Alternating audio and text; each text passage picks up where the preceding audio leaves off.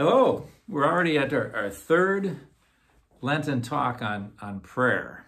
Uh, so each one of these weeks, I'm um, describing a method of praying, and I will uh, then we'll, we'll have time to actually do it.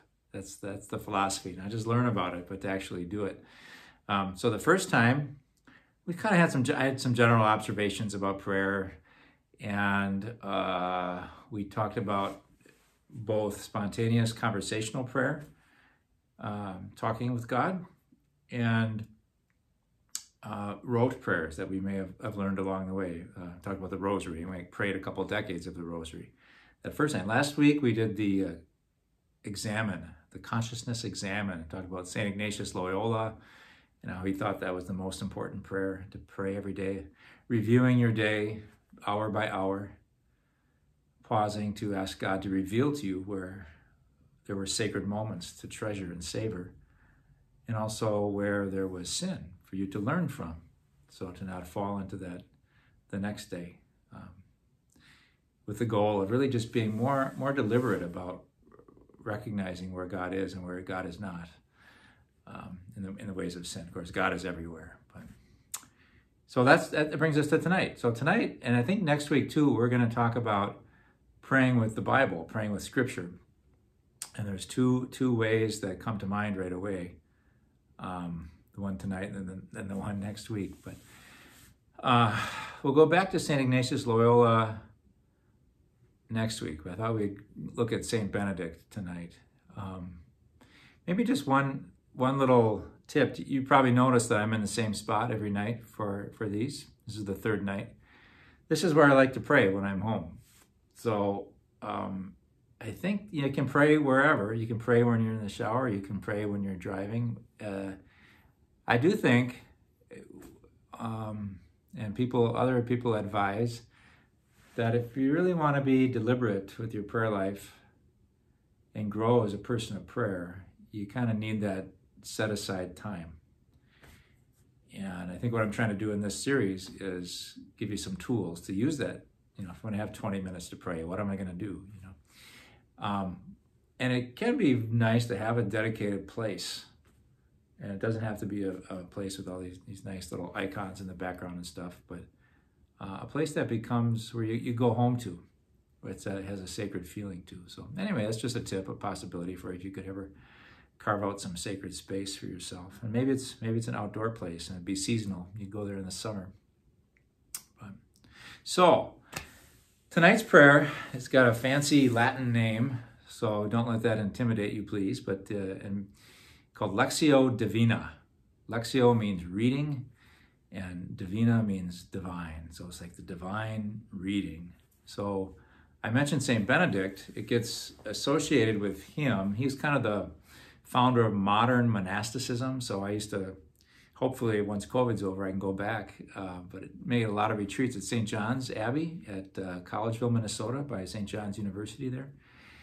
And uh, so those Benedictine monks, they gather every morning for group prayer, every noon for group prayer, every day for Eucharist, every time for evening prayer, and then often for night prayer. Um, other monks gather throughout uh, even more often for common prayer. But also built into each of their day is time to for Lectio Divina. It's time to spend with the Word of God. And uh, so you'll, you'll hear this presented variously from, from different people. Um, I'm going to present it the way I learned it when I, I was in seminary.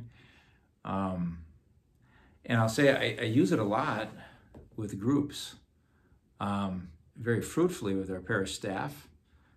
Um, part of my usually we do the upcoming Sunday's gospel reading as our as our reading as our passage, our text, and uh,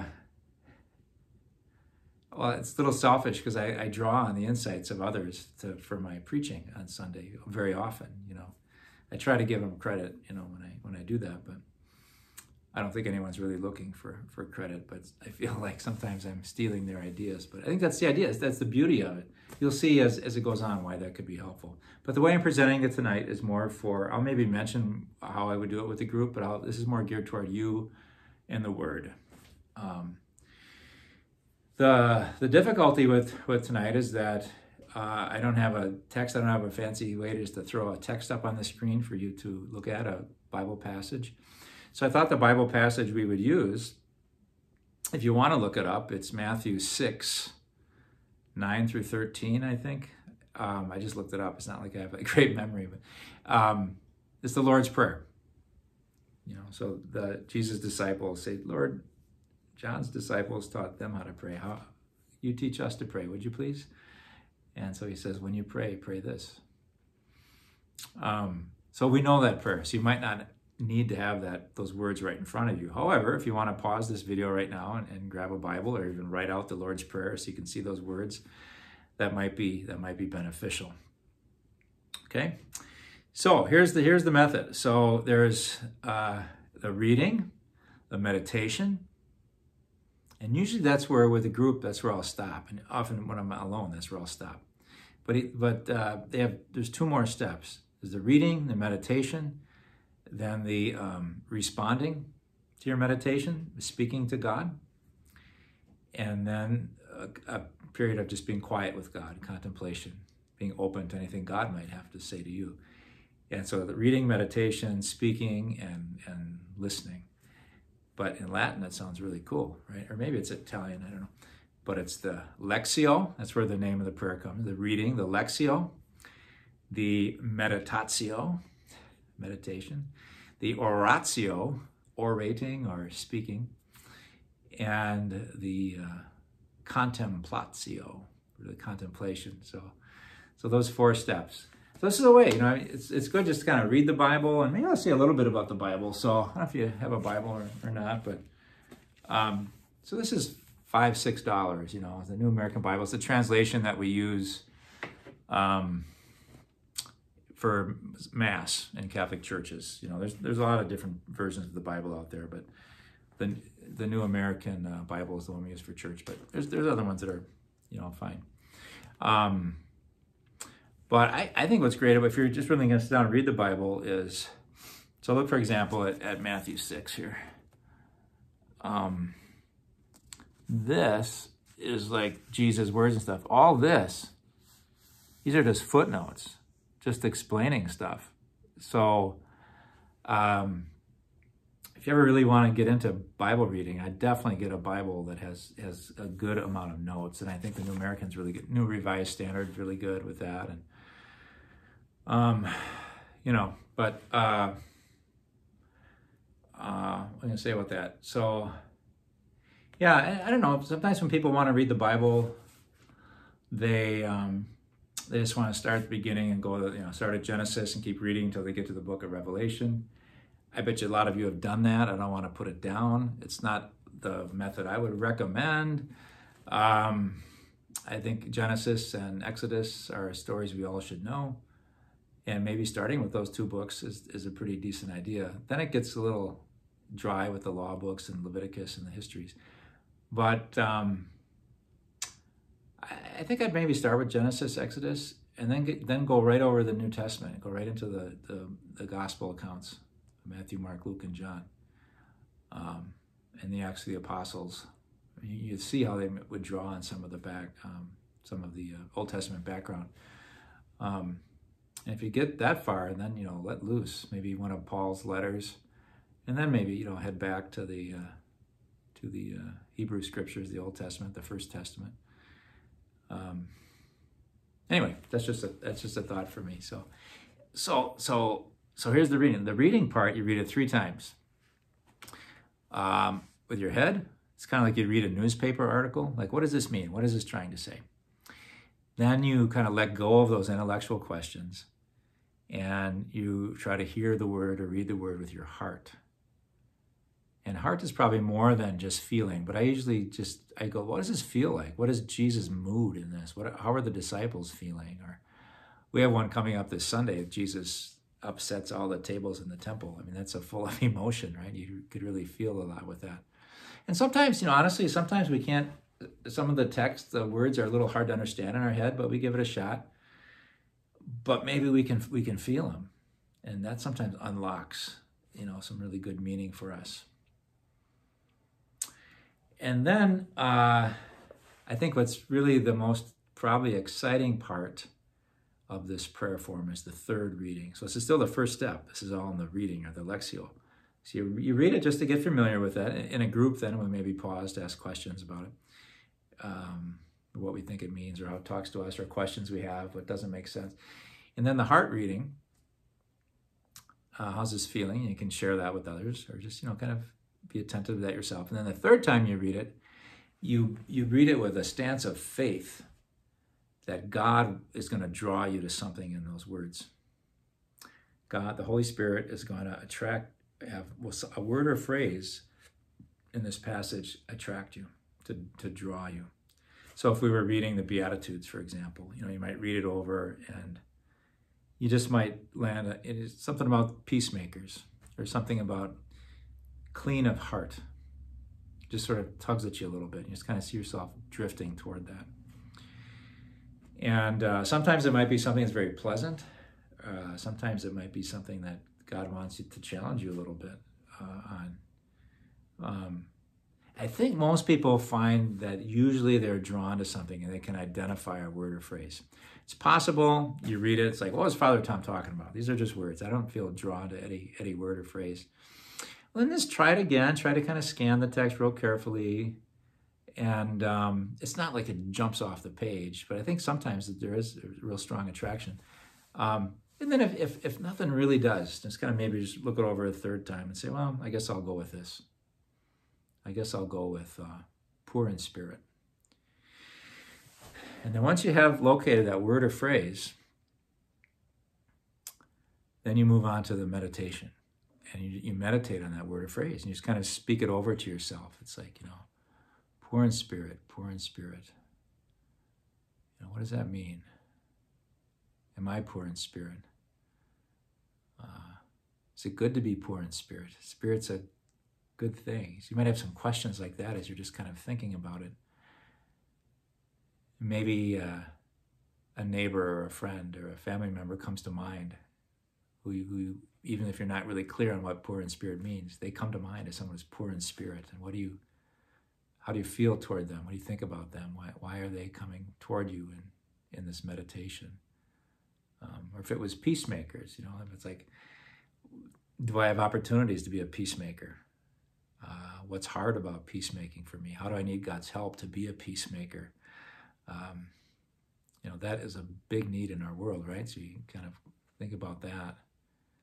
Um, know, but it, it, it, just you just kind of just go off the word. It can it can be it can be you know far afield maybe. And You think, well, I'm not doing it right because I'm thinking about this or I'm thinking about that as long as it's kind of rooted in that word, um, it's good. It's good meditation. So, I mean, if you just start thinking about taking the garbage out before, because tomorrow's garbage day, that's probably not worded in the. It's a distraction, which we all have. You'll have those. Then you go back to the word to kind of refocus, reground your meditation. Right. That's the that's a good value of the word. So spend a few minutes with that. We'll do that tonight, and I'll probably use my my singing bowl like I had last week to. Uh, to begin and end the meditation. And then um, the instruction would be so it's kind of nice if you're in a group after the meditation just to kind of share well what, what was the fruit of your meditation what were you focused on and that's that's where i really gain from other people's uh, experience and um, and then the the oration or the speaking to god um, just given everything that you've said, it's just like, well, I'm going to speak to God. It's like, uh, God, you know, I,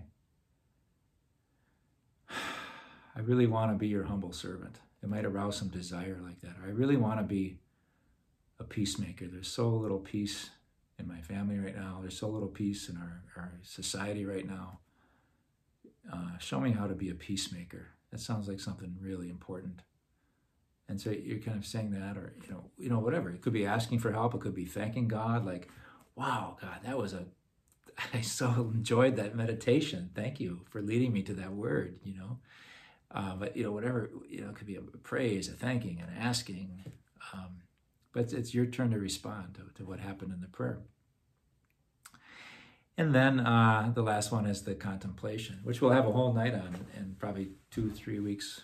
Um, just what's that all about? Contemplation. But you know, briefly for our purpose, it's just kind of resting with God, like you're in the presence of a friend. You've you've done the work of the prayer. You can get a kind of a pat on the back. Have you ever done these workouts where you kind of work real hard and then you're finally done and you get like a, a minute or two to just cool down? You know, this is the cool down period. And um, you would just um, enjoy being with God. I don't have to do anything now. Um, if you want to speak, Lord, I'll try to have my heart and my mind open. If you want to give me an image or a, a thought or a desire, uh, I'll, I'll try to receive that as your humble servant. Okay, so that's how it goes. Um, and I will just let's talk through it now. So I don't know if you have the, the words in front of you, the Lord's Prayer. I don't really think you need to because I think we know the Lord's Prayer. And I might rush it along a little bit than I, more than I would just if I was praying alone. But hopefully it'll still be a, a bona fide prayer, not just going through the motions tonight. So let's pray. As always, Lord, um, we want to pray with you here with us and an awareness that you are with us. Um, you're always with us. And we believe that it's pleasing to you when we stop our lives and take time to pray, to engage your word. So be with us in our prayer today and guide us. So the first reading, usually in silence, but I'll just read it out since you may not have the words, but you know it. I'll say it and then we'll pause for a minute just for you to kind of think about it. Maybe go over the prayer in your mind line by line and just you know ponder what that means. What is our daily bread? You know what So here's the here's the words. Jesus said, "This is how you are to pray. Our Father in heaven, hallowed be your name. Your kingdom come, your will be done on earth as it is in heaven."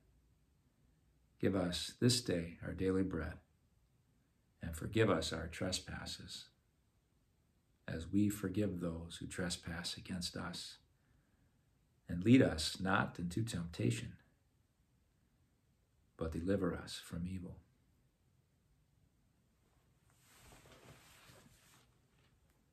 So let's roll that around in your mind and try to come to a little greater mental understanding of those words like you're reading a newspaper article. What's what's what's what's this mean?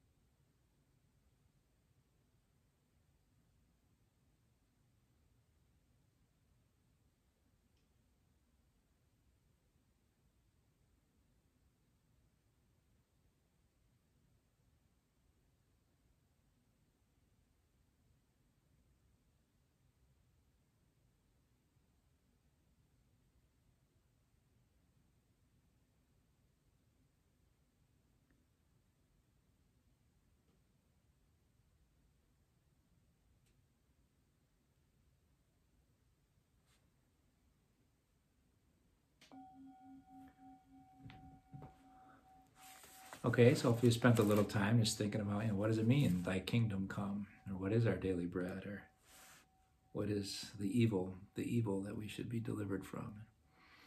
Uh, there's a lot of meaning in, the, in that prayer, right? Now, and this can be really the challenge for a lot of people, I find, when I'm teaching this prayer, leading this prayer, is to forget about those questions and the meaning and just try to feel it and so we're looking for words like this feels calm, this feels anxious, this feels, you know, comforting, this feels uh, fearful, this, you know, those kind of, you know, feeling words. So I'll read it aloud. Sometimes we, we hear with our heart better than we see with our heart. So you may want to just close your eyes as I read this again.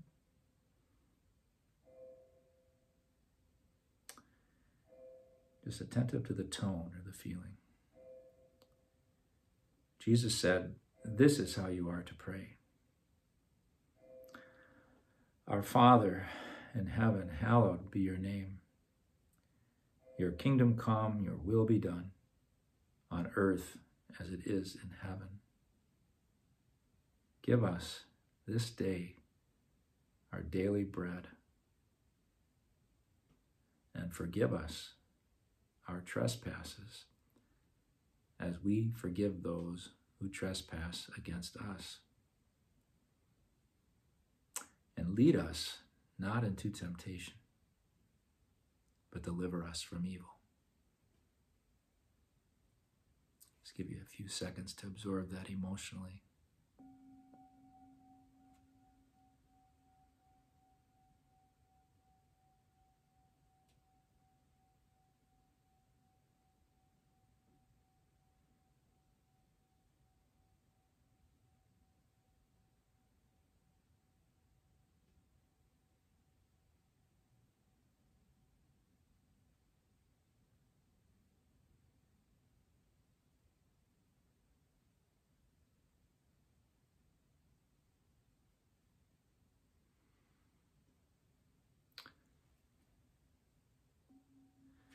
We just try to name a feeling. Another way is how does it make you feel? Is another way to when you when you hear those words, when you read those words, how does it make you feel? How did it feel to the apostles when they first heard that instruction?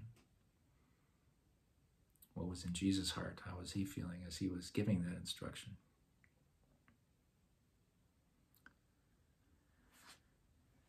So we've engaged the word with our heads and our hearts.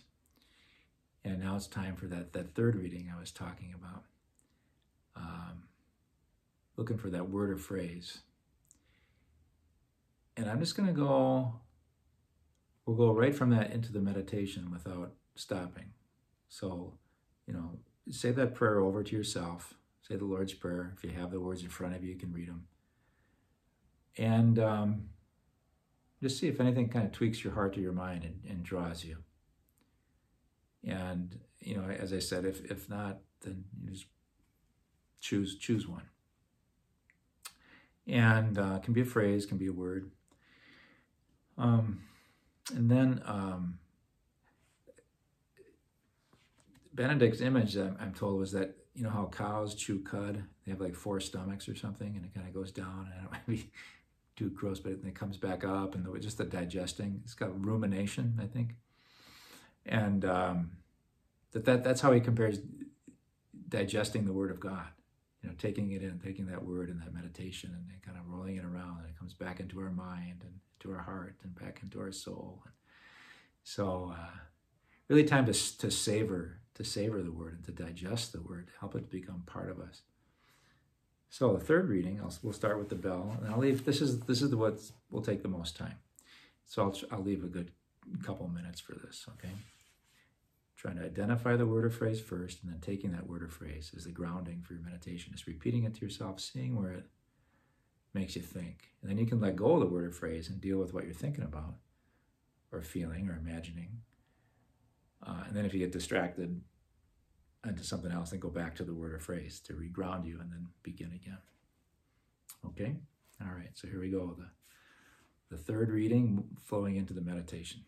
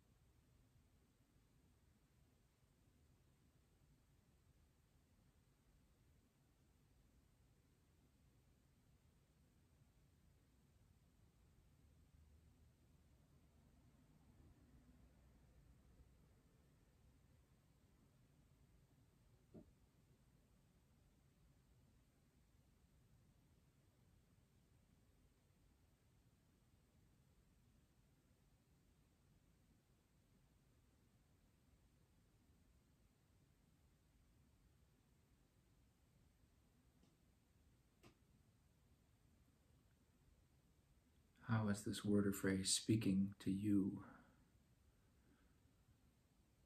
How is it an instruction for you?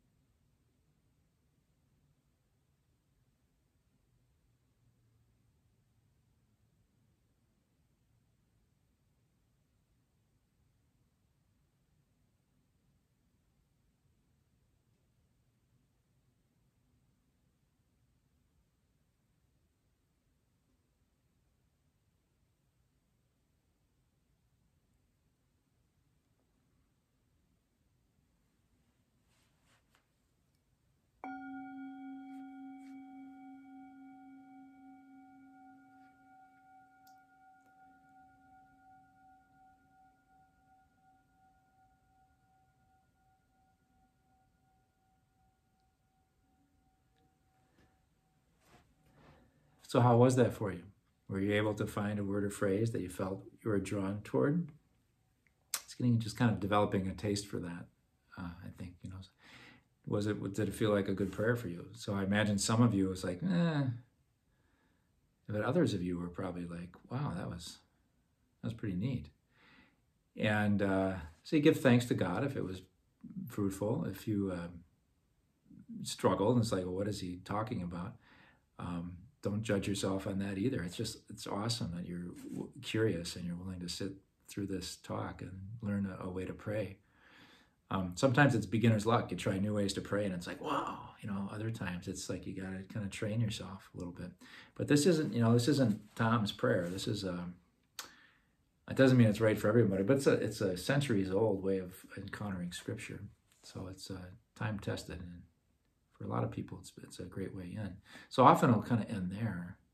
If it was really a, if it was really a, a good meditation for you, you're probably ready to write a, a good homily for the people this weekend, because you've encountered the Word prayerfully and it's led you to some some thoughts about it. Um, but so now we take the time. So I hope I didn't pull you out of that feeling of prayer by talking more, but um, kind of learn as we go. Now it's the time to speak to God to respond to God. So um, let's do that. I am going to do it to myself if you don't mind. So you can do it to yourself as well. Hmm. So,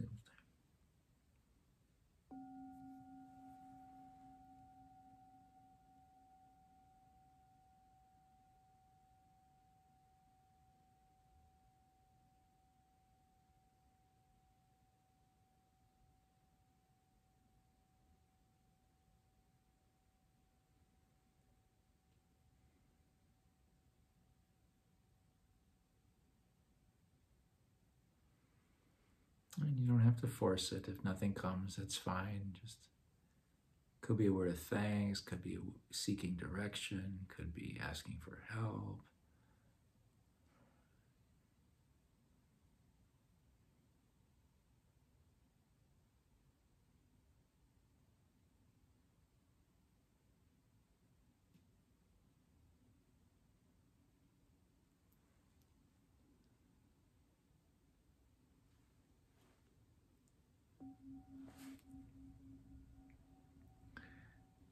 Okay, then we get to the last. Uh, I see we're over 30 minutes. We get to the last, uh, the contemplatio. We'll talk more about that in a couple weeks probably. But this is just a time to, you know, you put in a lot of work. You sat through 30 minutes through a YouTube video, and, and hopefully you were able to pray as well. And uh, it's pleasing to God, it's, and hopefully you, you, feel good about it. And now we just rest in God's presence and be our, our hearts and minds open to anything God might want to tell us and um, and enjoy just this this time of uh, cooling down. Give you about a minute for that.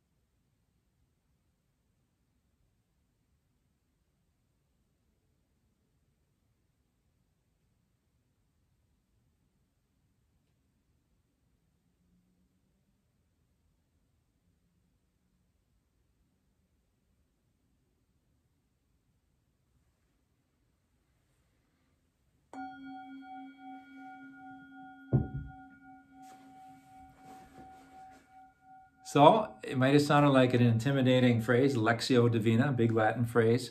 Um, not a real complicated prayer. You know, it's the it's. And I guess I won't repeat myself. You can just rewind and as I talk through the steps. But it's a good prayer for yourself to encounter the Word of God. It's a good prayer to do with groups. It's a good prayer in a marriage. I give uh, people preparing for marriage often an article from American Magazine, America Magazine, from about ten years ago about praying together as a couple, and they and this is how this is kind of how they suggest do it. Little variation on it, but you know, and, and, and you can simplify it. I think a real simple way simple way to do it is kind of read it, discuss it. You can put the maybe the heart and the head reading at the same time with your spouse or your friend, or um, and um, and then do the meditation where you kind of wait for a word or phrase and give yourselves a couple minutes to ponder that. And then just um, come out of that meditation and it's like uh, well did you land on anything? Did you what was your word? Deliver us from evil? That was my word by the way. Um, i was kind of i was kind of leaning toward i thought i would i usually like um, give us our daily bread. And so i thought i would get that but i did feel drawn toward deliver us from evil. So anyway it can be a, a great way to experience the word of god by yourself and with others let us pray Loving God, we thank you for giving us life and for souls that thirst for you souls that on a deep, deep level want to pray and need to pray. May anyone needing the fruit of this form of prayer tonight find it. May you lead them to the well springs of life through your word and through this Lectio Divina prayer. Amen. Bye, everybody.